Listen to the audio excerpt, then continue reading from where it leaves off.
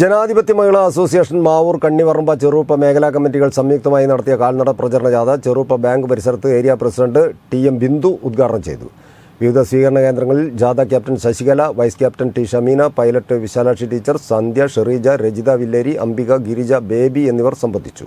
ചെറുപ്പയിൽ നിന്ന് ആരംഭിച്ച ജാഥ മാവൂരിൽ സമാപിച്ചു. സമാപന പൊതുയോഗത്തിൽ ശ്രീജ വി അധ്യക്ഷത വഹിച്ചു.